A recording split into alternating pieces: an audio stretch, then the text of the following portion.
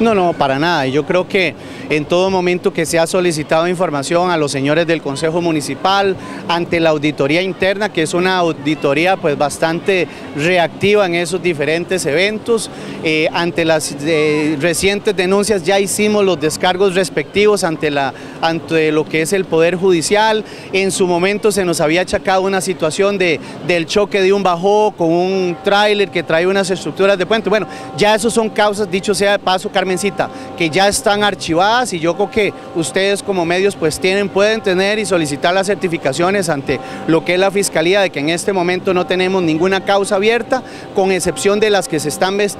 ventilando en este momento, que tiene que ver con algunos proyectos, eh, aparentes desvíos de material para diferentes proyectos, pero bueno, lo importante acá es que son proyectos que efectivamente hemos visibilizado, que hemos concretado y ante todo que hemos ejecutado. Así contestó el alcalde de Pérez, León Jeffrey Montoya, a TV Sur sobre los cuestionamientos de los últimos días tras publicaciones en medios nacionales y en redes sociales. Se ha dicho que el jerarca municipal se esconde tras estos cuestionamientos que se hacen en torno a la desaparición de sacos de cemento y otros materiales, un accidente de un vehículo de carga pesada y otros.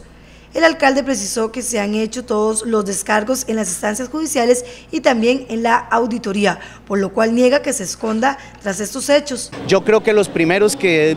hubiesen salido pues a la luz pública hubiesen sido las mismas organizaciones comunales, las mismas asociaciones de desarrollo, los mismos comités que se han visto beneficiados o eventualmente que se hubieran visto perjudicados con este tipo de proyectos. Bueno, los proyectos ahí están. Montoya precisa que todo eso se debe a la campaña política, ya que esos temas tienen más de dos meses y hasta ahora algunos los sacan a la luz. Estamos en campaña, esto es normal, yo sé que hay mucha gente y yo sí se los puedo asegurar, hay un alto porcentaje de la gente que esto le, le, le molesta, le harta, le fastidia de saber que empezamos campaña política, hasta hace dos meses no se hablaba más cosas de las que ahorita estamos viendo en plena campaña para los diferentes grupos, para uno, para otros. Este, yo creo que en esto eh, tanto los compañeros, el Grupo Liberación Nacional ha sido afectado, nosotros como Partido Unidad Social Cristiana hemos sido afectados, el PAC por ahí, ya hasta doña Cecilia en su momento, el Grupo PAC también afectado. Bueno,